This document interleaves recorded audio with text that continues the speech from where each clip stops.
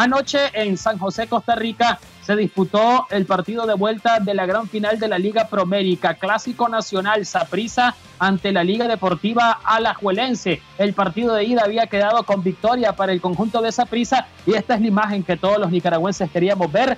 Byron Bonilla, campeón con el monstruo morado en el fútbol de Costa Rica. Indudablemente una gran temporada para Bonilla, siendo artícipe protagonista eh, de la remontada del Saprissa en el clásico ante Alajuela por la etapa regular y posteriormente también siendo incidente en las semifinales contra el Sport Cartaginés, donde ingresó de cambio, jugó aproximadamente 25 minutos y dio dos asistencias. De hecho, su técnico, Walter Centeno, que es un reconocido y connotado futbolista o exfutbolista de Costa Rica, destacaba que el nicaragüense Bonilla era ese cambio revulsivo que necesitaba el Saprissa, sobre todo cuando tenía que aprovechar los espacios, la velocidad y el desequilibrio. Muchas felicidades para Byron, que hace historia convirtiéndose, repito, en el primer nicaragüense en lograr ser campeón en la que es eh, reconocida y catalogada como la mejor liga de todo el istmo centroamericano y también en uno de los clubes más importantes y tradicionales del fútbol tico